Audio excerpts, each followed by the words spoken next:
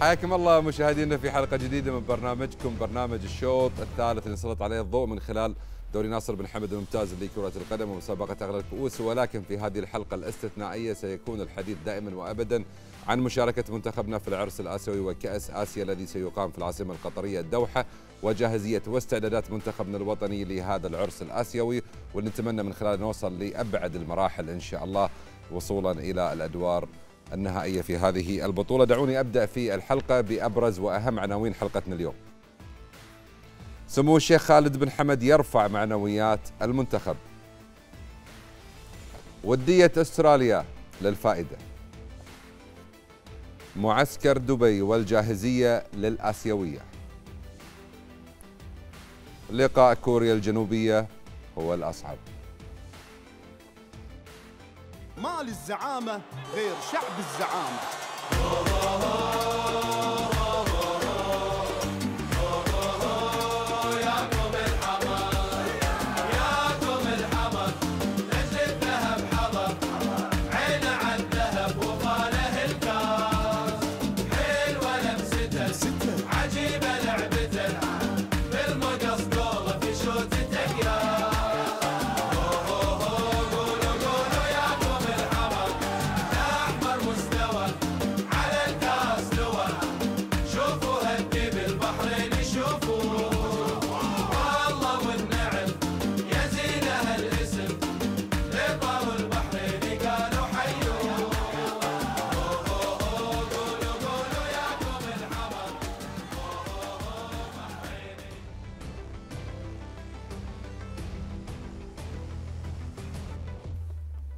حياكم الله من جديد مشاهدينا ورحب بضيوف الكرام هنا في الاستوديو استوديو الشوط الثالث كابتن إبراهيم حلمي المدرب العربي القدير والمميز دائما وابدا صاحب الابتسامه الجميله كابتن يا. مرحبا فيك يا مرحبا بك أهلا وسهلا سعداء فيك جدا بوجودك أكيد وأنا بتشرف أكيد كابتن هذه أول مرة ولا لا الثانية جيت كأس ثانية. الخليج آه جيت آه كأس في كأس الخليج آه. آه. أنا كنت محر في ذاك الوقت أيوه كنت- وديتني وأنت رحت نتشرف وإن شاء الله أنت يعني. وجهك دائما خير إن شاء الله. ومتفائل دائما إن شاء الله شاء بس الله أنت اليوم مع منتخبنا وأيضا بجانب ذلك مع المنتخب الأردني. واثنيناتهم في. مجموعة واحدة كابتن. مجموعة. إن شاء الله إنه يطلعوا اثنين ما بتعرف يا رب الله. يسمع آه منك. لا إن شاء رب. الله. إحنا متأملين إن شاء الله إنه بداية قوية للمنتخب البحريني لكن المنتخب الأردني المفروض إنه الأخيرة تكون محسوم يعني.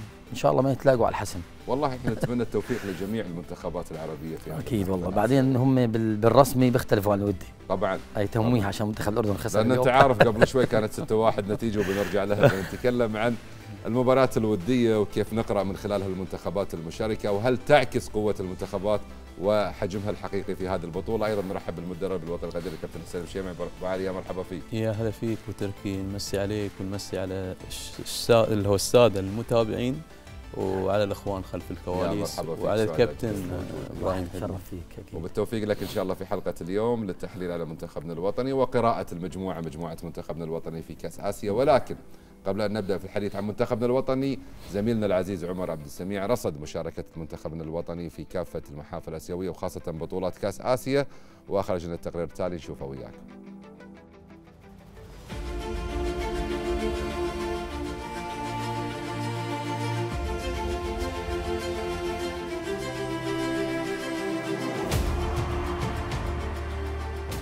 كان يمتلك القدرة على بث الرعب في قارة كاملة. كان قويا للحد الذي فاجأ العالم.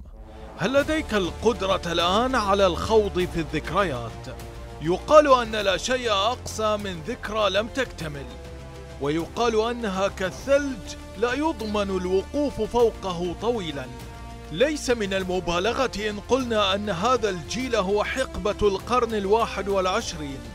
فقد كان شرسا حتى لقب بمنتخب الدقيقة الأخيرة. عندما غادر كان من حسن حظ الساموراي أنه نجا. في 2007 وكأن شبحا هو من شارك في البطولة. خروج مبكر وخيبة أمل أكبر. بعد أربع سنوات تكررت القصة التي تكررت بعد أربع سنوات أخرى. خيبة تليها خيبة وخيبة تليها أخرى تعددت الخيبات والألم واحد من الجيل الذي قلنا أنه لن يكسر بعد اليوم. إلى سنوات عشناها في الظلام. ألم أسأل منذ البداية هل لديك القدرة على الخوض في الذكريات؟ أحيانا في اللحظة التي نتمنى فيها النسيان تغمس الأقدار أرواحنا في الذكرى أكثر. واليوم نحن نعيش الأمل بصناعة قصة أجمل. لا أعتقد أن هناك جمهورا كسر كما حدث مع عشاق الأحمر. واسأل كأس العالم. لكن في النهاية لابد أن نغامر معهم. فقصتنا واحدة ومصيرنا واحد.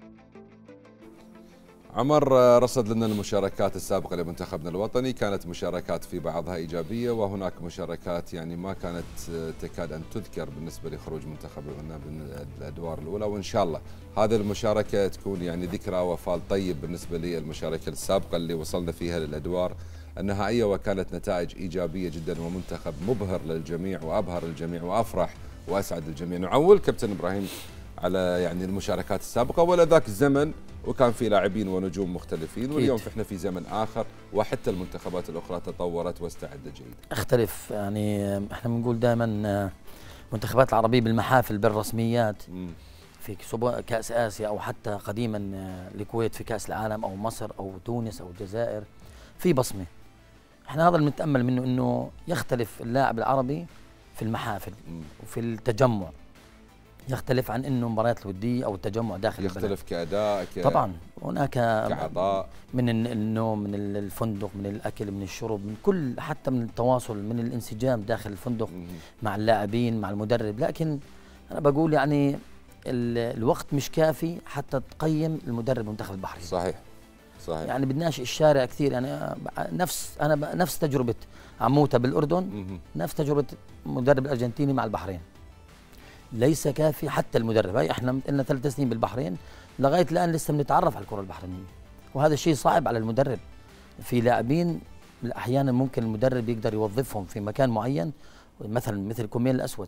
كيف بيلعب بالرفاع؟ الآن اختلف تماما في في في, في البحرين ونزل مستوى أنا بقول كوميل من المنتخب لسه مش كوميل بالرفاع. والدليل إنه إيش؟ إنه عمال بينسجم بالطريقة الجديده وبينسجم بالمركز الجديد كجناح يسار. بالضبط. وهذا بيأثر كبير. وأنا بطلب إنه من الشارع البحرين إنه شوي يتأنى مش وقت الآن أي انتقاد الآن وقت بطولة تجمع ومش الحكم في بطولة مثل هاي بمجموعة ناريا بقول المجموعه الأكبر منتخب الأردن منتخب الكوري منتخب ماليزيا اللي ما خسر ما خسر بآخر ست مباريات وهذا لا نستهين ابدا بالمنتخب الماليزي. طبعا إحنا مش جايبين سيرته ابدا لكن ممكن يكون مفاجأة. انت بتحكي عن عن ثقافة الفوز من ست مباريات موجودة. وهو بالفعل منتخب متطور اللي نعم. متابع نعم. للمنتخب الماليزي يشوف مدى التطور اللي قاعد يمر فاحنا بنقول يعني الانسجام اللاعبين اللي زجهم مدرب المنتخب البحريني جيد معدل الأعمار. من سيكون في 2026 أو ب 2030 من اللاعبين؟ الآن معدل الأعمار فوق ال 30 جاب جاسم خليف okay quality آه، عمر 25 سنة جاب الختال جاب الخلاصي لطف الله. ومع حتى إنه الإضافات هذه معدل الأعمار لازم يقل وهذا مطلوب لما تقابل فرق زي كوريا بتمتاز في السرعة والضغط العالي والضغط العكسي. صحيح صحيح. كابتن الاستعدادات لمنتخبنا الوطني اللي متابع لتجمع المنتخب في أول مرة استعدادا لبطولة كأس آسيا والزيارات الميدانية للقاده الرياضيين. وفي آخرها بنتابع معاكم زيارة سمو الشيخ خالد بن حمد ال خليفه النائب الأول لرئيس المجلس الأعلى للشباب والرياضه رئيس الهيئة العامة للرياضة ورئيس اللجنة الأولمبية.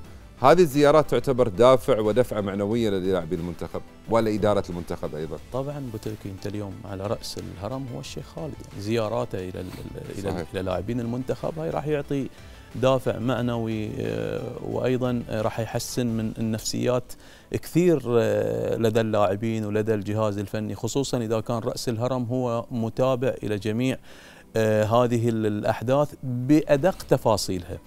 آه، فلذلك آه، تواجد الشيخ خالد آه، داعم كبير إلى إلى الفريق. وأعتقد التواجد مع الفريق هذه رسالة إلى اللاعبين إن إحنا خلفكم وراح ندعمكم. بشتى الطرق وإحنا مستعدين نتحمل المسؤولية قبلكم. أنت كمدرب تعول على الجانب الإداري مثل هذه الزيارات مثل هذا الدعم مهم جدا للاعبين الجانب بجانب الخطط الفنية الج... والتدريبات والتكتيكات. الجانب الإداري يأتي قبل الجانب الفني. قبل الجانب الفني. قبل الجانب لأنه هو من يحدد بيئة العمل. كل ما كانت بيئة العمل آه، فيها عوامل آه، تؤدي إلى النجاح عمل المدرب فنيا راح يكون آه، سهل وممتع صحيح. خصوصا إن إن راح يعني تشعر إن الدعم متوفر عندك من من من أعلى قمة الهرم صحيح. فلذلك أنا أشوف إن الدعم الإداري مهم في هذه المرحلة والدعم الجماهيري أيضا أيضا مهم واليوم حتى الإعلام أيضا دوره مهم في توجيه بوصلة الانتقادات الإيجابية إلى الفريق. كأنك تتكلم عن تشكيل الرأي العام بالنسبة لمشاركة المنتخب. لما تأخذ الوفد الكبير من مختلف المواقع مواقع التواصل الاجتماعي والصحف المحلية فأنت تشكل الرأي العام الآن بالنسبة لمشاركة المنتخب. وهو في جانب يشكل الرأي العام بالنسبة آه، أتكلم عن رأي شعبي جماهيري صحيح. آه، رأي الشارع الرياضي. أي رأي الشارع الرياضي. فلذلك من المهم اليوم ان أن تكون هناك في التفاف حول المنتخب. آه، مثل ما تفضل الكابتن حلمي اليوم آه، مو وقت الانتقادات السلبية ولا وقت الانتقادات اللي تتكلم عن لاعبين كان يفترض تواجدهم من عدمه. آه، لأن اليوم علينا أن نؤمن أن هناك مدرب يعمل بفلسفة لديه قناعات يجب دعمه ودعم قناعاته. وفي النهاية كل مدرب معرض إلى إنه يفوز وينجح. ومعرض إنه في في مرحلة من من المراحل أن يتعثر. بالضبط. خالد طلع معاكم على جدول مجموعة منتخبنا الوطني بالنسبة للمشاركة الآسيوية والمنتخبات المشاركة في هذه المجموعة حسب ما نشوف منتخب كوريا الجنوبية وأيضا منتخبنا الوطني والمنتخب الماليزي والمنتخب الأردني الشقيق. هذه بالنسبة لمجموعة منتخبنا الوطني. كيف نقراها كابتن إبراهيم حلمي؟ ماذا نطلق على هذه المجموعة؟ أنا يعني هاي مجموعة متوازنة لكل متوازنة. الفرق نعم. متوازن لكل الفرق. يعني الفرق الأربعة ممكن أن أي منتخب منهم يتأهل يكون من ضمن المتأهلين. بده يغادر اثنين ويظل اثنين بالنهاية. ممكن. ما فيها أفضلية للمنتخب إذا ماليزيا عمل مفاجأة بالمباراة الأولى والبحرين غلب كوريا فهناك مفاجأة في البطولة. مم. أنا هيك بقول لأنه صراحة كوريا بكأس العالم غالبين البرتغال متعادلين مع الأورجواي ثاني المجموعة طالعين. من آخر ست سبع مباريات مدرب كلينزمان ما خسر ولا مباراة. عماله معدل الأهداف عاليه معدل استقباله الأهداف أقل. هذا بيعطيك انطباع إنه في ثقافة الفوز موجو الفوز موجودة مثل المنتخب الياباني نفس الشيء. هذول فرق ما بتقبل الخساره ابدا. حتى بداية البطولة ما في جس نبض. مثل الفرق العربية ممكن ترجع بال compact العميق. مم. يعني شفنا إحنا مثلا منتخب الأردن اليوم على اليابان رجع بالدفاع مثلا. منتخب البحرين مع أستراليا. نص ملعب عمل على الهجوم المرتد. الفرق ما بترحم. لازم تعمل على الضغط العالي وهذا مهم كثير لفرقنا العربي إنه زي ما قال الكابتن آه، بوجود آه، سمو الشيخ خالد موجود هناك. هذا الجانب النفسي ممكن الفرق الأسيوي الكبير مثل كوريا اليابان ما يلاقوا الدعم. تعرف ثقافتنا العربية صحيح. تختلف. مختلفة تماما. النشامه في الأردن لاعبين بالحماس بكذا. نترك التكتيك. أحيانا الجانب التكتيكي بيسوي لنا مشاكل صراحة بالذات اللاعب العربي. فبتلاقيه نفس الليلة عمل اجواء انه أنا بكرة بدي أسعد البلد بدي أسعد والدتي بدي أسعد زوجتي أولادي. الأجواء النفسية لها دور كبير يطغي آه، أحيانا آه على الجانب. وجود وجود الشيخ خالد كثير مهم مم. حتى في البطوله حتى حضور المباريات حتى التدريبات. فمهم هذا بصراحة آه، ان دل على شيء بدل إنه في ألفة في انسجام في رضا حتى على المدرب. يعني إحنا حضرنا مباراة الإمارات مدرب لازم يفوز خمسة على الإمارات. مم. الدقيقة 55 هذه هذه نقطة مهمة برجع لك فيها إبراهيم حلمي. بتكلم ببتدي فيها مع حسين مشيمع. بالنسبة لي مباراتنا الودية أمام المنتخب الأسترالي. كيف كانت المباراة؟ وهل هي تعكس فعلا آه، الشكل الحقيقي لمنتخبنا؟ أم المباراة الودية لها حساباتها الخاصة؟ آه، أنا أعتقد مباراتنا أمام أستراليا آه، كانت مباراة بمثابة الصدمة بالنسبة إلى إلى لاعبين المنتخب. السبب الإعداد اللي يسبق هذه المباراة. المتعمدة أحيانا انت تتعمد محتاج لاعبينك للصدمه محتاج إلى مثل هاي الصدمات أنت لأن إحنا في الفترة اللي تسبق آه هذه المباراة ما لعبنا أمام منافس أو خصم آه، بقوة المنتخب الأسترالي. وهي- بمثابة البروفا إلى مباراة كوريا. منتخب كوريا الجنوبية اي لأن كوريا أيضا بنفس الأسلوب. فريق يهاجم بكثافة عددية عالية فريق يعتمد على الضغط العالي. يستحوذ على الكرة حال خسارة للكرة أيضا يقوم بالضغط العكسي. فلذلك مثل هذه الفرق لابد أن تعتاد على أنك أنت تلعب إياها إلى عدة أسباب. السبب الأول أنك تتعود على إيقاع اللعب العالي. آه، تتعود أنك دائما تكون تحت الضغط. ما لا يوجد لاعب يستطيع أن يخرج آه، بالكرة بدون إذا ما كان تحت الضغط. دائما دائما هذه الفرق تخليك دائما تحت الضغط إلى 90 دقيقة. فإحنا نحتاج إلى مثل هذه المباريات وإن كنت أتمنى إن مثل هالمباريات تكون يكون الإعداد إليها بشكل مبكر. لأن اليوم هذه الصدمة نتمنى نشوف نتائجها في مباراتنا أمام كوريا بالضبط لذلك أنت تحتاج وقت في مثل هذه المباريات القوية حتى ممكن تصلح أخطائك كلاعب وتصلح من أخطائك كمدرب نعم إذا كان الوقت كافي. كابتن يعني هذه المباراة بالتحديد من المنتخب الأسترالي هل بالفعل ممكن تحدد مكان من القوة في منتخبك، مكان من الضعف وتعمل على إصلاحهم خلال الفترة القصيرة ذي؟ هو أحيانا المدرب يعني دام يجيك مدرب آه، من الأرجنتين وفكر عالي في أوروبا وفي أمريكا الجنوبية يعني هو بجوز حب يشوف شو مستوى الم- المنتخب أو البروفا اللي بده يعملها مع كوريا في في الزون بنص ملعب. يشوف ردة فعل الفريق وأنا بأيد لأنه منتخب البحرين ما قابل غير ال- الإمارات آخر مرة في بالضبط. تصفيات المزدوجة وقابل اليمن أتوقع.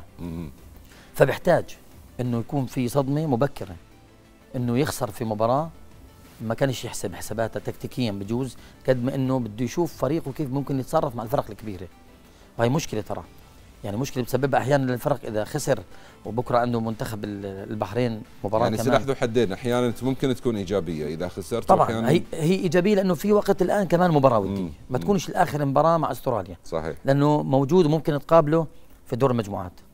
فأنا بقول يعني هذه آه، مفترق طرق للاعب ولثقافه داخل الملعب. هاي استراليا. وشفت بجوز بالواحد صفر كان في ضربة جزاء للبحرين كان ممكن.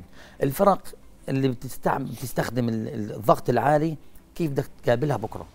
فهو شاف فريقه من خلال أربعة واحد أربعة واحد اشتغل معهم وعمل بالتوليد كويس إحنا كثير شوف شفنا شيء عماله لما يكون خسران كيف يبدل نص ملعب. صحيح. بلش بجاسم خليف والحردان قدام المدافعين وموسز ولسه ما وصل موسز للمستوى اللي إحنا بنعرفه مع المحرق لما شاف حاله خسران كيف سحب جاسم خلى كوميل مركز عشرة ودخل الختال. فيعني عماله بيعطي أفكار ممكن تخدمه مع ماليزيا والأردن أكثر من أستراليا. بالضبط. خلاص استعرض معك تشكيله منتخبنا كابتن حسين المشيمع ونشوف التشكيلة اللي بدأ فيها ال- ال- المباراة الك- آه، مدرب منتخبنا الوطني الأول. آه، طبعا هو لعب بلطف الله في حراسة المرمى وبن والحيام في صحيح. قلب الدفاع. صحيح. آه، أعتقد أنا طبعا ما تبين عندي الصورة من اللي هي من هناك ولكن أعتقد اللي هو كان الخلاصي على جهة ال- اليمين. حردان وجاسم آه، والحردان وجاسم خليفة محمد البداية. عادل اي آه. نعم اي وكوميل أعتقد كان في البداية لعب. على جهة ال- الجناح ال- ال- اليسار والحشاش كان مهاجم والطرف. اليسار اللي هو علي مدن. هذه التشكيلة اللي لعب فيها شوفها أنت مثالية في أمام المنتخب ال- الأسترالي اللي هو راح يكون يعني كبروفا لمباراة المنتخب الكوري الجنوبي شوف أبو تركي إحنا عادة إذا بنتكلم عن المدرب يعني يفترض أن نتجرد في البداية عن قناعاتنا طبعا الشخصية. طبعا 100% يعني قناعاتك كمدرب أنت راح تختلف مع المدرب ولكن عليك أن تفهم وتعرف المدرب شنو فلسفته، اي فلسفته. وشنو قناعاته بالنسبة للأسلوب اللي راح يتبعه وتوظيفه إلى إلى اللاعبين. يمكن نتفق أو نختلف وياه ولكن هذه قناعاته وهذا أسلوبه في النهاية. وعلينا مثل ما قلت أن نؤمن أن هناك مدرب يمتلك CV عالي جدا يمتلك آه، بطولات محقق كوبا أمريكا مع تشيلي ومحقق الدوري ال ال ال ال الأرجنتيني آه، ومحقق الدوري التشيلي أيضا ودرب أيضا في إسبانيا. فمدرب يمتلك CV عالي جدا ويمتلك أيضا بطولات آه، كبيرة. فلذلك هو اليوم مؤمن بأسلوبه. علينا أن ندعم هذا الأسلوب وفي النهاية في وقت إلى التقييم نهاية البطولة ممكن أنت تقيم. عمل نستعجل المدرب التقييم من خلال مباريات نعم. فرديه أو استعدادات ولكن أنا. هناك ملاحظة فقط على وسط الملعب مم. إحنا اليوم في وسط الملعب موسيس و آه، الحردان آه، ومعاهم خليف أو أحيانا يكون معاهم آه، المباراة الإمارات لعب آه، لاعب الوسط اللي هو الوالي. الوالي مناوي ثلاثة اللاعبين تقريبا مهامهم مزدوجة. لاعبين يقومون بنفس الأدوار. أنت لما تلعب أمام فرق دائما تضغط عليك في منطقتك أنت تحتاج إلى لاعبين وسط مش منظمين لعب فقط. تحتاج إلى لاعبين وسط قادرين على الانتقال بالكرة من منطقة من منطقة ضغط إلى منطقة. إلى مساحة ممكن تبني من خلالها هجوم. نعم. إحنا نفتقد إلى هذه الميزة في وسط الملعب ونفتقد إلى اللاعب الخلاق اللي ممكن يصنع إليك فرص في وسط الملعب. يعني إبعاد آه، كوميل عن منطقة الوسط عن اللاعب رقم عشرة آه، أفقدنا نوعا ما آه، عملية البناء في في الهجوم عملية الإبداع في الثلث الهجومي. فلذلك يعني أعتقد إن بيتزي محتاج شوية يراجع هذه النقطة. يحاول شوية إنه يكون كوميل في مركزه الأساسي حتى ما نخسر آه، نجومية كوميل أيضا في صحيح. في البطولة. صحيح. خلينا نشوف بيتزي شنو قال ما بعد مباراة منتخبنا مع المنتخب الأسترالي الودية وأيضا اللاعبين في هذه اللقاءات. Bueno, bien, eh, creo que nos falta todavía لقد كانت مباراة جيدة. أعتقد أنه ينقصنا أن نكون أكثر شراسة هجوميا. بينما في الجانب الدفاعي قمنا بعمل جيد. اللاعبون بذلوا مجهودا كبيرا في المباراة واستطاعوا أن يقللوا من قوة المنافس والحد من خطورته. بشكل عام استفدنا وتعلمنا كثيرا من هذه المباراة وستكون محطة مهمة جدا لتحضيرنا لكأس آسيا. امهر لنا. هو المباراه الودية إحنا كنا نبغيها علشان نستفيد منها فنيا بدنيا خاصة إن إحنا نلعب منتخب أستراليا. منتخب أستراليا تصنف من التوب 1 في في قارة آسيا. عشان نحضر رحنا حق كأس آسيا بالنهاية مباراة ودية نستفيد منها نأخذ الأغلاط كلها نصححها والإيجابيات نكمل عليها ونبني عليها. بالنهاية أهم شيء عندنا البطولة الأسيوية يعني.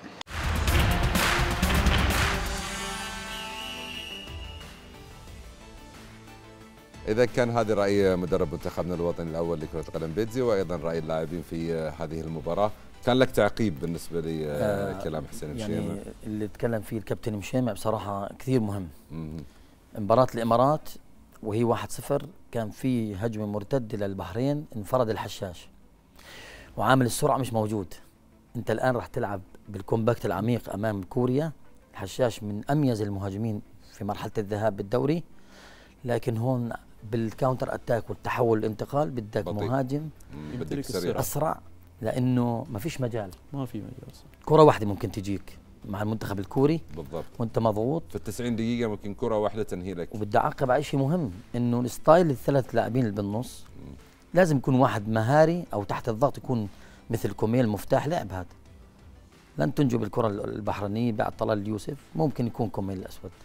هذا مفتاح لعب. فممكن يكون بعمق الملعب حتى يخرج المنتخب البحريني من الأزمة. صحيح. وأنا بقول لازم كل مباراة لها لاعبتها ولها اختياراتها. فممكن يكون مهدي عبد الجبار أو ختال. شو يعني عجبني أنا سوزا في مباراة الكويت كأس الخليج بدأ بحمزة العطار. مهاجم. ليش؟ م. عامل السرعة والقوة والبدني والضغط على المدافعين وخصوصا إنه المنتخب الكوري بيلعب بأربعة أربعة اثنين في اثنين مهاجمين. كيف بده يتعامل؟ هل بده يقابلهم بأربعة واحد ولا بأربعة اثنين ثلاثة واحد؟ آه بيتزي. وخصوصا إنه بيمتازوا بالكرات الثابتة. ومشكلة الدوري البحريني بالكرات الثابتة. يعني اللي محرق أنا بحضر له آخر ثمان مباريات كل فوزه كرات ثابتة. ففي مشكلة بالدفاع بكرات ثابتة. وما قدر حتى سوزا يعني حلها بالعشر لاعبين داخل البوكس يرجع المنتخب لأنه في مشاكل هاي ممكن تسبب له مشاكل الكرات الثابتة والكرات العرضية يعني إحنا استقبلنا نعم. استقبلنا أعتقد الهدفين من أستراليا من كرات عرضية من كرات عندنا عرضية. عندنا نعم. مشكله مشكلة كبيرة جدا مع الكرات العرضية سواء كانت الكرات العرضية البعيدة أو القريبة من داخل ال box أو من خارج ال box عندنا مشكلة في الأخطاء البدائية أحيانا للمدافعين وأحيانا في الهواء في الهفوات والتنظيم أيضا الدفاعي في الكرات العرضية أي نعاني نعاني منه مثل ما تفضل الكابتن حلمي من من زمن آه، تكلمتوا عن معاناة وتكلمتوا عن جوانب ولكن بالجانب الإيجابي شو اللي يميز منتخبنا؟ وش اللي يميز مجموعة اللاعبين اللي موجودين في المنتخب خاصة بعد انتهاء تسع تقريبا جولات من دوري ناصر بن حمد؟ والله تشوف ابو تركي إحنا حاليا موجود عندنا يعني اللاعبين حاليا اللي موجودين مم.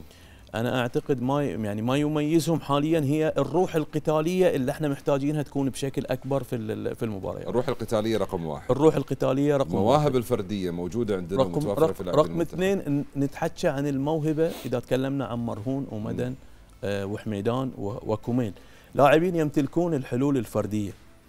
فلذلك إحنا الرسالة اللي نوصلها إلى بيتزي إن أنت عندك مجموعة من اللاعبين يمتلكون الحلول الفردية اللي بإمكانهم التأثير على أي منظومة لعب أنت راح تلعب فيها. وعلى أي أسلوب أنت راح تتبعه. ولكن أنا في اعتقادي الشخصي إن بيتزي لحد هذه اللحظة لم يصل إلى التشكيل المثالي إلى ال- إلى المنتخب آه، الوطني. صحيح. كوجهة نظر شخصية. صحيح. لم يصل إلى التشكيل ال- المثالي. بحاجة ما ب- ما بقول بحاجة إلى الوقت لأن لا لربما موجود التشكيل المثالي لدى المدرب وبنشوفه في البطولة. نتمنى هذا هو الشيء. المفترض ان نشوفه في المباراة الوديه نتمنى نتمنى هذا الشيء. ولكن أنت اليوم عشان تلعب آه، بأسلوب التحولات الهجومية والترانزيشن تحتاج على الأقل إلى جناحين حقيقيين. يعني لا يمكن ألعب بكوميل جناح وأطالبه بتحولات هجومية لأن نعم. كوميل محطة محطة هجومية في وسط الملعب حتى ينقل الفريق إلى عملية ال transition. المرهون اللي ممكن يعمل مرهون ممكن أكثر. ممكن هو اللي ينقلك إلى إلى إلى هذه المرحلة. فتواجد مرهون ومدن أو حميدان آه، من ضمن ثلاثي الهجوم. هذا راح يخلي آه، شكلنا الهجومي أوضح في المباريات. وراح يعطينا أيضا هو من شوية تكلم في وقال إحنا تنقصنا الشراسة الهجومية. الشراسة الشراسة الهجومية تحتاج إلى ثلاثي هجومي متحرك يستطيع مهاجمة المساحة ويستطيع الانتقال من منطقة آه، آه، من منطقة مزدحمة باللاعبين وفيها ضغط عالي إلى منطقة ذات تأثير هجومي. نحتاج هذه النوعية من اللاعبين. على بيتزي أن يجد التشكيل المثالي لخوض المباراة أمام كوريا لأن آه، أنا كاعتقاد شخصي التشكيل الحالي إلى الآن بيتزي لم يصل فيه ال- إلى اختيار العناصر ال- ال- المثالية الدوري البحريني أبو تركي كله على التحولات. معظم الفرق على التحولات صحيح كيف تقصد بالتحولات؟ شو اللي يعني؟ في من اللي بيعمل compact العميق على عند ال box 14 عميق. وفي منه بالثلث الوسطي بنص الملعب عشان قطع في مكان معين بالكرة وانتقال وتحول بالسرعة لل- للباص للتمرير الأمام مهم. والفرق العالمية بجوز كأس العالم 2014 أكثر فرق الضعيفة اللي كانت ضعيفة بكأس العالم هي اللي عملت التحولات بنص ملعب الخصم. يعني القطع في منطقة المنافس أفضل من أنك تقطع في منطقتك اللي هي الثلث الوسطي. وهاي نظام التحولات بجوز أقل شيء أجا 28 جول أو 30 جول بالتحولات بنص ملعب الخصم أكثر المنافس. وهذا اللي بنطلب إحنا مثل ما قال الكابتن إنه أنا بشوف وبعتقد إنه الحلول الفردية الموجودة عند منتخب البحرين عالية. بالذات بالثلث الامامي الخلف الأمامي تبع للمهاجمين. أكثر من الحلول كأظهرة وقلوب دفاع. بصراحة ورا ما فيها الحلول الكبيرة بس في الأمام بصراحة البحرين يعني أنا قاعد بطل بتفرج على نادي الخالديه بيطلع اثنين مهاجمين بفوت اثنين مهاجمين. بيطلع اثنين أجنحة بفوت اثنين أجنحة. لكن ما في أظهرة بالبحرين مثلا. بدلاء للموجودين إذا صحيح. مره مباراه الامارات رجع المرهون ظهير يمين. ما في بدلاء ولا إحنا نعاني في دورينا أو في أنديتنا من وجود اللاعبين. اللي في هذه المراكز أو مراكز معينة أنا بتذكر أجيت على نادي الشباب طلعت على الفريق ما فيش ظهير شمال. على طول بلغنا فرق الناشئين يشتغلوا يدوروا في في في الفرق الناشئين. مش شرط إنه يجي لاعب تقول هذا ظهير شمال لأنه طويل أو شمال لا. حول جناح يسار. حول لاعب ارتكاز بيلعب رجله اليسار بيشتغل تحت الضغط خفيف بهيدرز قوي عنده مروني وديه ظهير شمال. وهذا اللي بنفتقده إحنا. مثل ما بنطلب مدرسة حراس مرمى. أين العمل الفردي؟ هيك بنقول إنه من الناشئين من تحت كل الفرق البحرينية المفروض يكون في عمل فردي وانتقاء لاعبين سواء بالهجوم أو بالاظهره اليسار أو اليمين. فأنا بقول إنه من الأمام في حلول عنده عالية والكواليتي الموجود يفتخر فيه بصراحة والدوري البحريني بآخر أربع أسابيع فرز لك لاعبين مواهب ممكن تجيب لك أهداف سواء صغار السن أو كبار السن. صحيح. في هذه النقطة بالتحديد إصابة بوغمار في المباراة الودية والبديل كان آه، سالم حسين. نعم. سالم حسين من المدافعين ال- ال- من المواهب الدفاعية الموجودة عندنا وبالعكس استدعائه حتى لو ما شارك يكفي إنه هو يعيش هذه الأجواء. أنا من من الأشخاص اللي يشجعون على استدعاء لاعبين بأعمار إيه، يمكن يمكن حاليا يعتبر هو من ضمن المجموعة يمكن هو أصغر لاعب في في المنتخب. يعني ما عندنا لاعب اي يمكن هو والعكري. إبراهيم ف... بعد إبراهيم أنت قريب منه سالم حسين وأنت آه. كان كلاعب في في نادي الشباب. سالم لما جيت على الشباب كان بده يبطل بدوش يلعب. بده يبطل لعب بده يلعب مهاجم. آه كان بيغير مركزه. فضلينا موجودين معه. واقنعناه بالتوقيع لمدة سنتين. قلت له بنوديك منتخب. كان لسه شباب بده يطلع على اذا في مركزك بتوصل منتخب. راح تروح منتخب لأنه أنا كنت ألعب بالثلاث أربعة ثلاث فقلب الدفاع ممكن يهاجم. فقربناه على النص مرة نلعبه مركز ستة مرة قلب دفاع. فهو استوعب الفكرة وكان والده حتى معه موجود والولد عنده طموح عالي. لكن تفرجت على الفيديوهات تبعته قبل ما أجي أنا مع المنتخب. عنده السلايد وعنده شوي أحيانا بالتهور بال حاولنا نشتغل عليها والولد الآن بصراحة بلش ينضج ولازم الآن يكون في بديل. يعني حسين العكري بيلعب ظهير يمين بيلعب ارتكاز. كان معنا برضه بالشباب. لكن سالم حسين الآن لازم مش مهم كأس آسيا زي ما قال الكابتن لكن لازم الآن يدخل لأنه استبعدوا أو ترجعوا نفسيا. أحيانا اللاعب يصير بده أكثر. آه فلا معدل الأعمار لازم يقرب أكثر ولازم نستدعي أكثر من المنتخب الأولمبي اللي شاركوا فيه لاعبين بصراحة كواليتي عالي موجودين في البحرين. بالضبط. أنا أبي يعني أنتقل معاكم تدريجيا للمنتخبات اللي في مجموعتنا بالنسبة للمنتخب الكوري الجنوبي. تفضل. هاي لأن كابتن حلمي قال إن المجموعة آه تقريبا يمكن كل الفرق بإمكانها أن تتأهل من هذه المجموعة. مم. بالضبط أنا بعد أتفق معه كل الفرق بإمكانها أن تتأهل من هذه المجموعة كمركز ثاني آه، وافضل وأفضل ثالث. المركز الأول, الأول كمعطيات فنية اليوم أنت تواجه المنتخب الكوري آه، صاحب آه، أعلى معدل قيمة سوقية على مستوى آسيا بعد المنتخب الياباني. بالنسبة وهو للاعبين المحترفين. بالنسبة للاعبين بشكل عام لاعبين ولاعبين محترفين. لاعب يمتلك منظومة هجومية يمثلها أفضل لاعبين تقريبا حاليا في آسيا. تشانغ محترف ولفرهامبتون ومسجل من 17 مباراة زائد 10 أهداف. صحيح. سونغ آه، يلعب في توتنهام ومسجل زائد 10 أهداف في 17 مباراة. فأنت تتكلم عن مهاجمين من طراز عالمي. تتكلم عن فريق آه، يمتلك منظومة هجومية يعني شو أقول لك أبو تركي؟ فريق الأسلوب الهجومي هو الأسلوب الممتع بالنسبة إليه، فريق ما يرجع يدافع حتى أمام فرق أوروبية أمام البرازيل في كأس العالم، أمام البرتغال، فريق يعرف كيف يهاجم ويعرف كيف يبطل مفعول الهجمات المرتدة إلى الفرق المنافسة. فلذلك هذا الفريق أنا أعتقد هو المرشح الثاني للظفر آه، بكأس آسيا بعد المنتخب الياباني المنتخب الكوري الجنوبي المنتخب الكوري الجنوبي كونك تلعب أول مباراة في التصفيات أو في عفوا في البطولة الآسيوية أمام منتخب مرشح لنيل لقب هذه البطولة هذه بحد ذاتها عامل إيجابي للاعبين المنتخب أم العكس؟ أحيانا دافع لما تشوف فريق كبير أمامك ولاعبين. تعرف راح تقابل لاعبين توتنهام ودوري اللاعبين بالدوري الألماني. الدافع لاعبين تسويقيا أصلا بيكون دافع أكبر من إنك بس تفوز للمنتخب. قبل ما نفسك من خلالك طبعا كلاعب. ناحية تسويقية وتعرف يعني اللاعبين كل العرب ما راحوا غير في التجمعات سواء كأس العالم أو كأس آسيا. فأنا باعتقادي إنه فوت قوي مع مباراة كوريا. وحقق لو لو نقطة واحدة بالتعادل منتخب البحرين راح يروح لبعيد. هذه كلامك للاعبين ولا كخطة لعب؟ لأن المباريات الأولى لها حساباتها الخاصة. طبعا آه هو عارف الكلام هذا وعشان هيك اختار أستراليا لعب مباراة قوية قبل ما تكون الأخيرة أتوقع مع انجولا آه غدا. آه اختار أستراليا بك لأنه مرشح كمان أستراليا فريق كبير مع إنه بالتجديد يعني. مرشحين صح. آه حتى يشوف المنتخب كيف بيتعامل مع كوريا وهو هلأ خلص فأنا باعتقادي إنه وجود لاعبين البحرين في أول مباراة راح يكون حضور عالي وتركيز ذهني عالي وراح بتوقع أنا ممكن يطلعوا بالتعادل. بدناش ننسى تجربة السنغال الحج ضيوف مع فرنسا في أول مباراة في المونديال. صح. فاز السنغال. بدناش كمان كوريا واليابان. اليابان آه، خسر مثلا من المنتخب. الأردن خسر من المنتخبات. الأقل منه. أستراليا خسر. فاحنا بدناش نخوف لاعبين ترى العامل النفسي مهم هلأ. صحيح. وللأسف أنا بقول وين وين الدكتور النفسي بال بالمنتخب. بالأندية؟ بالمنتخب ممكن يكون موجود. لكن بالأندية مطلوب.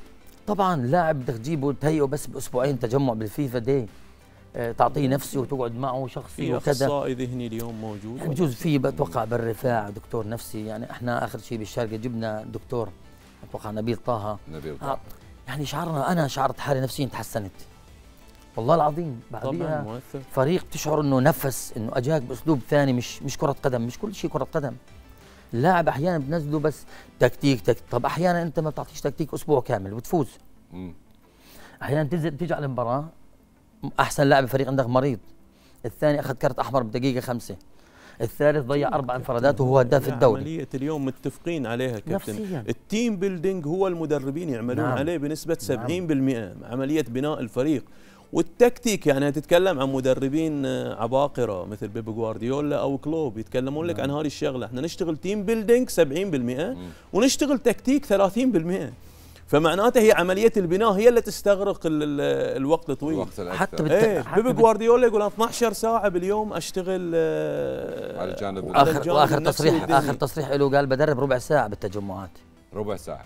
فقط. شو بده اللاعب الوقت الأكبر يروح للجانب النفسي. تجمع. النفسي بعدين المعلومه يعني ال- ال- الفرق العربيه واللاعب العربي. مم. إحنا جربنا. تعقدش التكتيك. واحد زائد واحد يساوي اثنين. بالضبط. صحيح. أنشيلوتي قال أنا بتفاجأ من المدربين الصغار السن اللي طلعوا جديد بيعطوا معلومات كثيرة. شو تعطي؟ نزل الخلدية. هلا ب remote control بتفوز. نزل المحرك يعني متمرسين. صحيح. نزل الرف... بالريموت. ليش؟ فسهل سهل المعلومة سهل آه، التعليمات هي هي, سهل هي نعم. أنت أوجد نظام لعب مم. وفي بعض المساحات أطلق الحرية للاعبين حتى نشوف مساحة الإبداع عند اللاعبين. بالضبط. ف- هذا الكلام ينطبق على مباراتنا مع المنتخب الكوري الجنوبي لو كان في يعني تسهيل للمعلومه لو كان تسهيل بس للجانب هون هون النفسي. بيختلف الانضباط التكتيكي. الانضباط انضباط. التكتيكي. آه، هنا- خاصة امام منتخب بقوة آه المنتخب. الكوري. آه أكيد مش راح اللاعب ياخذ راحته بده يرا... يعني فريق بيعمل الضغط العالي والضغط العكسي. إحنا يعني لما تنقطع منه الكرة مم. بده يرجع يضغطك بالخمس ثواني. صحيح. هون لازم اللي بيقطع على طول يسلم وينتقل من لمسة أو لمستين لنص ملعب ابو إيش؟ تركي إحنا نتكلم عن المعطيات الفنية صحيح. والاعتبارات الفنية. ولكن إحنا عندنا منتخب محاربين. عندنا أيضا أبطال. صحيح. يعني إحنا نوجه للاعبينا رسالة نقول إحنا إذا تكلمنا وطرحنا قوة الفريق المنافس أيضا إليه نقاط ضعف صحيح. المنتخب ال- ال- الكوري. وأعتقد إن الجهاز الفني آه، مع مع محلل الأداء راح يعملون على على يعني السيطرة على نقاط قوة الفريق الكوري آه، واستغلال نقاط الضعف. ومحاولة استغلال مم. نقاط الضعف لدى المنتخب الكوري. إحنا أهم شيء أمام المنتخب الكوري الشوط الأول تكون منظومتنا الدفاعية تعمل بكفاءة عالية جدا وما نستقبل هدف مبكر. أهم أهم مرحلة هي النصف ساعة في الشوط الأول. وإحنا لنا تجارب كثيرة أمام المنتخب الكوري. يا نخسر منه بصعوبة 2-1 واحيانا بالإمكان إن إحنا نعطله وناخذ منه نقطة وممكن نفوز عليه. فلا بد أيضا هذا التاريخ يكون حاضر في مثل هالمباريات يعني لذلك أنا ذكرت في بداية الحلقة هل ممكن نعول على مواجهاتنا السابقة ولقاءاتنا ونتائجنا الإيجابية السابقة أو لا؟ طبعا أنت بإمكانك إنك مجرد مشاهدة فيديوهات إلى إلى إلى إلى فريق إلى منتخباتنا السابقة. وهي تنتصر أمام هذه الفرق هذا يعطي دافع معنوي كبير إلى اللاعبين في مباراتهم القادمة بالضبط. أمام أمام كوريا ولا تنسى التحدي النفسي بين اللاعب ونفسه إحنا اليوم بنواجه فريق مرشح أي نتيجة إيجابية راح تدخلنا آه، في 100%. آه، شو اسمه في دائرة 100% آه، الترشيح أو إحراج المرشحين. صحيح. فلذلك إحنا لابد نعمل على هذه النقطة. لابد لاعبينا يثقون إن إحنا في عندنا جوانب يمكن ما يمتلكونها لاعبين محترفين. تتكلم عن الجوانب ال- ال- القتالية عند لاعبينا تتكلم عن الجوانب النفسية تتكلم عن جوانب لاعبينا يمتلكون حيوية وطاقة وقوة هائلة جدا. أتكلم لك على على المستوى النفسي. فلذلك لابد استغلال هذه العوامل أمام منتخب أكيد. وضيف عليهم عامل الأرض والجمهور كون أن البطولة في منطقة خليجية في منطقة وأكيد خليجية.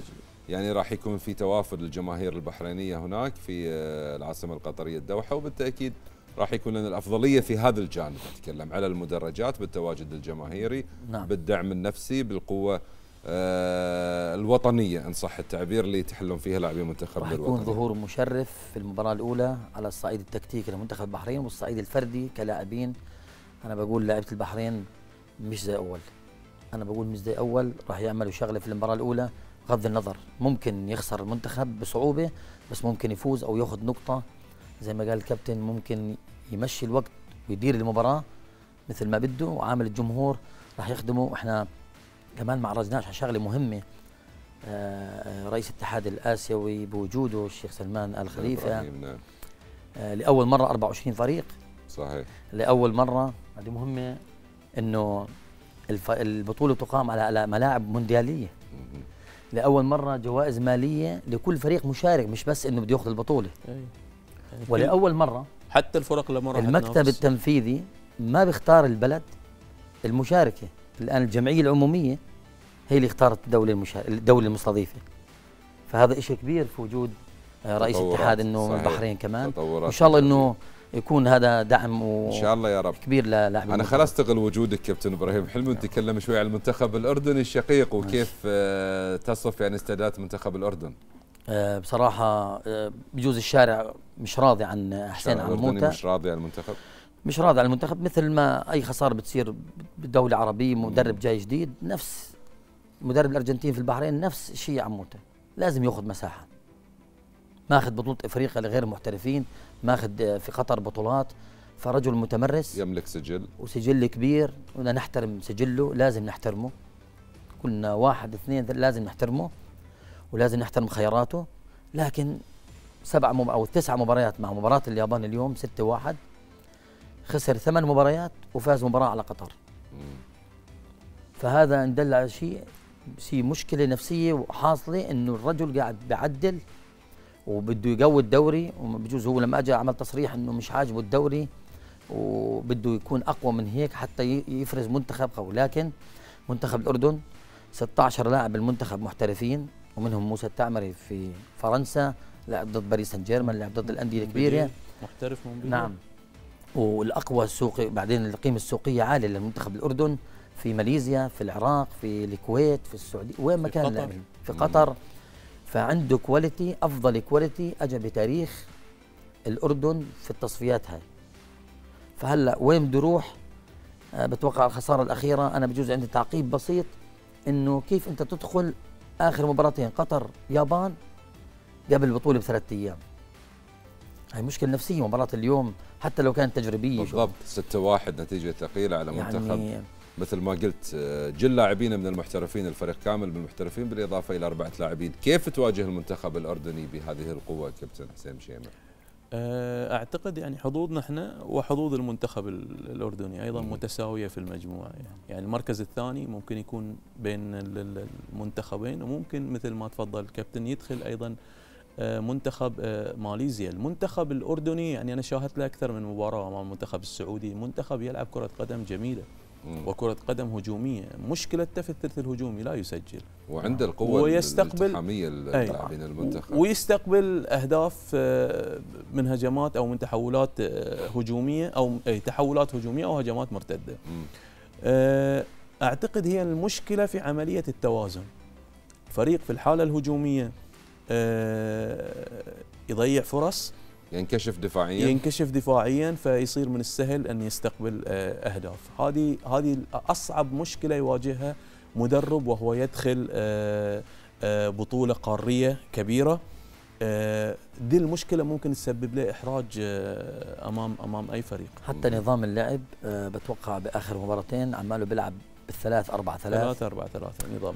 فهي بتعرف تكشف أطراف الملعب بالضبط. وخصوصا الظاهرين. أتوقع كان يستخدم محمود مرضي وهو بيلعب جناح وأحسان حداد يسار ويمين.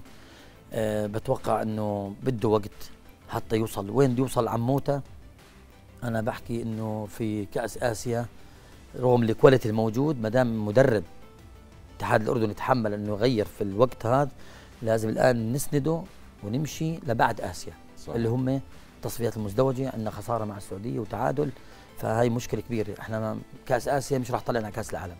بالضبط. كل مرة بنقول إحنا بتعرف الدوري الأردني خمس سنوات مع فيتال هباء منثورا حط الدوري الأردني مع شرق آسيا مع تايلاند ومع الصين ببلش شهر ثلاث بينتهي بشهر 11 حتى التوقفات وتجمعات آه، ال- العرب وأوروبا بيعملوا الفيفا day مثلا بشهر ستة إحنا بنكون مبلشين دوري.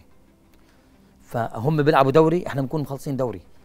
فقعدت لاعيبه المنتخب ولاعيبه الأندية كلها تسع شهور بدون منافسات.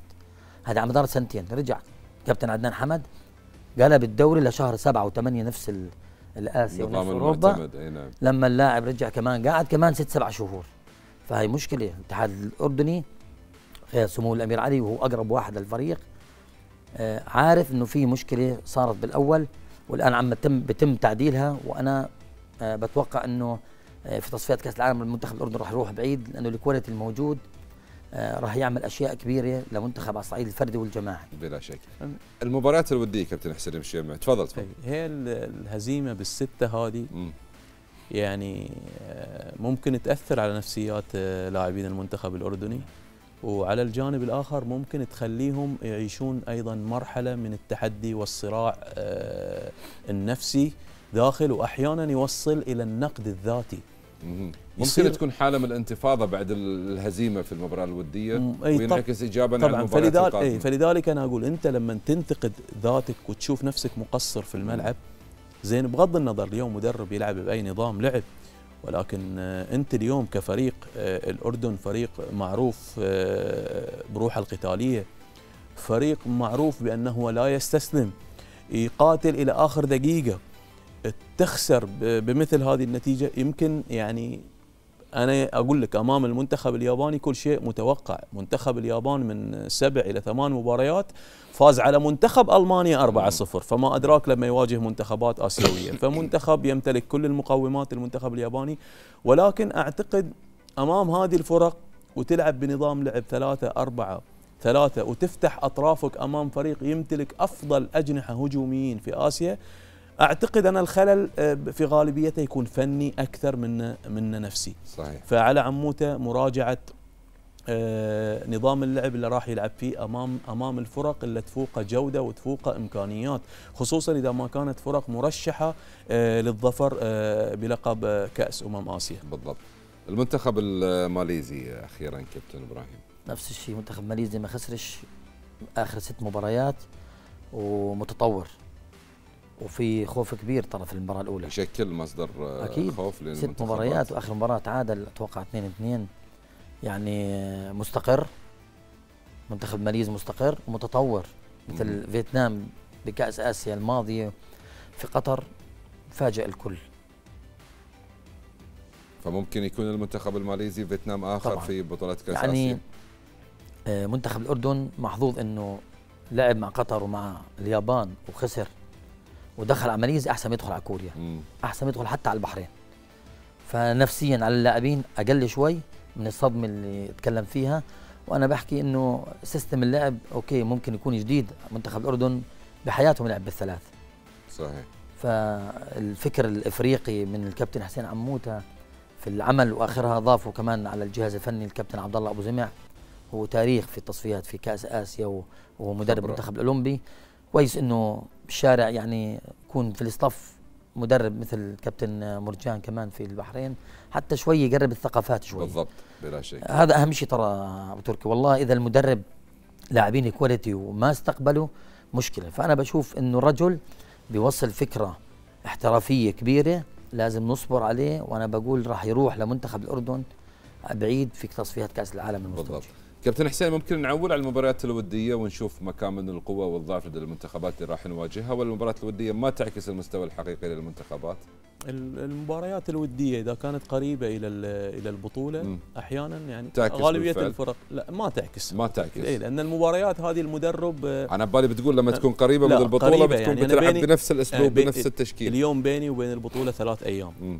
وراح ألعب مباراة بعد ثلاث أو أربع أيام يعني لا يعقل إن المدرب بيجي ينزل بالتشكيل الأساسي اللي راح يعتمد عليه بعد أربعة أيام في البطولة. فهو في هالجانب ممكن يجهز لاعبين البدلاء إلى إلى المباريات إلى المباريات مباريات البطولة. صحيح. ولكن هي الإعداد أنا دائما أقول الإعداد على يعني كمدربين لابد أن نقرأ آه، أساليب اللعب اللي راح نواجهها وأنظمة اللعب اللي راح نواجهها.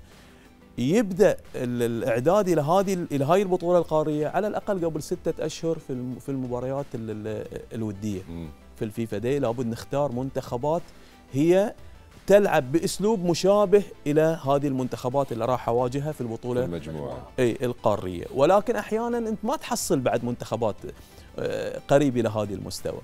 فلذلك أنا أقول المباريات القريبة إلى البطولة القارية هي هي مباريات من أجل تثبيت بعض الركائز. صحيح. اي ولكن نحتاج مثل ما قلت لك إلى مباريات قبل البطولة بستة أشهر يتم الإعداد إليها آه، بشكل جيد. آه، نرفع رتم وإيقاع آه، فرقنا من خلال هذه المباريات. صحيح. خل آخذ مباريات المجموعة كابتن إبراهيم حلمي بشكل سريع. توقعاتك لنتائج منتخبنا اللي راح تكون أمام المنتخب الكوري والأردني وأيضا الماليزي يعني بتوقع الأردن وبحرين واحد منهم مع المنتخب الكوري. البحرين والأردن مع بجانب المنتخب. وهناك مركز ثالث إن شاء الله يكونوا ثلاثتهم. كأفضل ثلاثة إن شاء الله ثلاثتهم. طبعا. ولكن التوقعات كلها تشير للمنتخب ال- الكوري بجانب المنتخب الأردني والبحريني كابتن؟ تشوف أنا أشوف في استبعاد للمنتخب المعطيات المعطيات الفنية تقول إن المنتخب الكوري راح يتأهل من هذه المجموعة آه، في المركز الأول. مم. المركز الثاني راح يكون بين المنتخب ال- ال- الأردني والمنتخب البحريني. ولكن مثل ما قال الكابتن لا يمكن استبعاد ماليزيا ماليزيا أمس أو أمس أعتقد متعادل مع سوريا 2-2 في مباراة يعني وضح عليها أن المنتخب يمتلك آه، قوة هجومية تسجل على المنتخب السوري عنده هدفين إمكانيات المنتخب إيه، الماليزي. عنده- بس عطفا عنده- على الدوري الماليزي من الدوري الماليزي يعني ما ما يكاد يذكر بالنسبة للدوريات الآسيوية اي وممكن إحنا اعلاميا ما يوصل إلينا ولكن ممكن. في في هناك يعني آه، فرق جيدة صحيح. وأيضا لا تنسى أن هناك صار هناك توجه في ماليزيا آه، يمكن تجنيس بعض اللاعبين البرازيليين حتى ينقلون آه، ثقافة آه، معينة صحيح. إلى ال- إلى الماليزيين. يمكن هذا أفادهم كثير.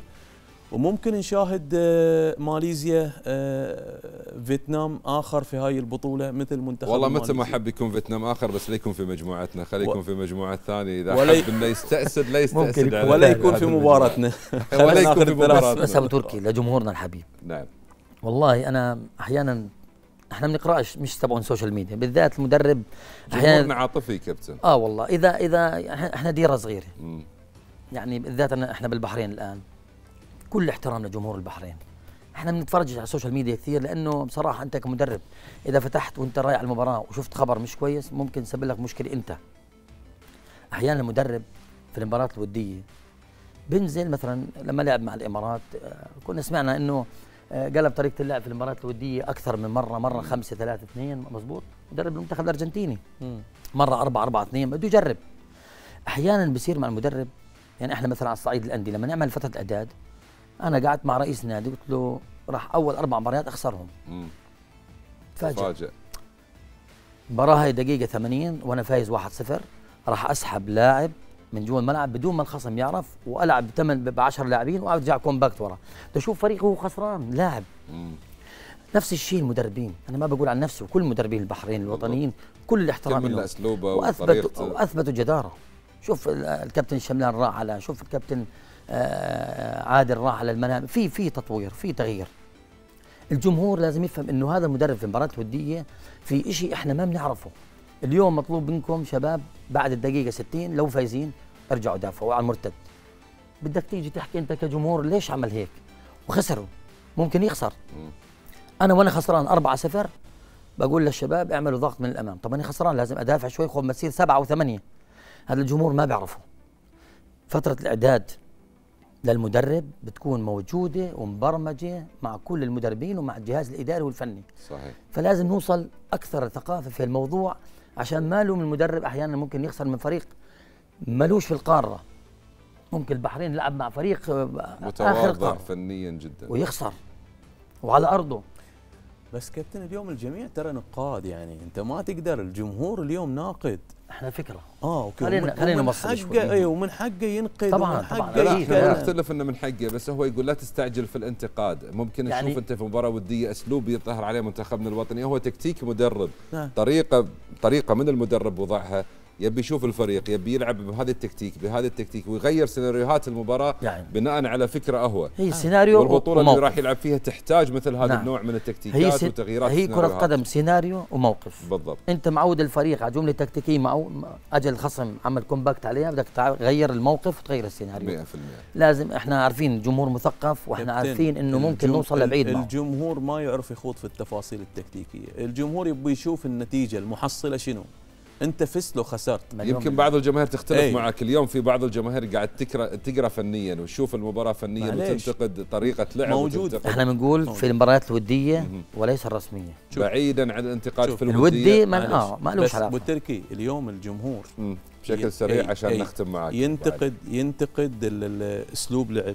ينت ولكن ما يقدر يدخل في التفاصيل التكتيكية. صحيح. أكيد. التفاصيل التكتيكية هاي لابد يكون في شخص مختص مدرب بالضبط بالضبط. فاهم هاي ال- ال- الحالات اللعب عارف شنو متطلبات هاي الحالة متطلبات المراكز أبو تركي. بس هذه ضريبة الفضاء المفتوح وال social media. آه. أقول لك في النهاية من حق اللي الجمهور. فتح للجميع المشاركة. عموما كلنا خلف الأحمر كلنا خلف منتخبنا الوطني في هذه المشاركة متفائلين.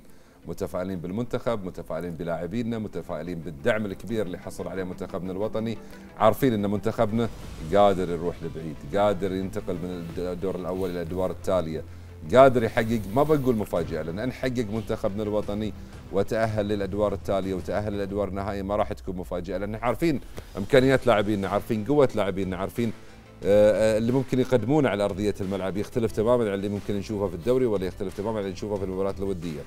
في الختام كل التوفيق لمنتخبنا الوطني واشكر ضيوف في الاستديو الكابتن إبراهيم حلمي كل الشكر والتقدير شكرا لك. على تواجدك. معنا اليوم. بالعكس. وأيضا الكابتن حسين مشيمع كل الشكر والتقدير على تواجدك اليوم. حياك الله أبو تركي.